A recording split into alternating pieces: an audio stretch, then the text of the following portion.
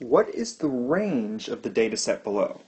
The way you find range is you take the greatest number and you sub then subtract the least number. You're finding the difference between the least and the greatest number. Think of the range as the numbers all in a data set spanning from least to greatest, and you're finding out how long that span is.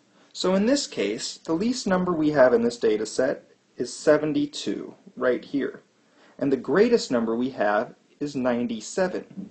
So what we're trying to do is we're trying to find the difference between 97 and 72, and when I subtract those, I find a range of 25 for the correct answer.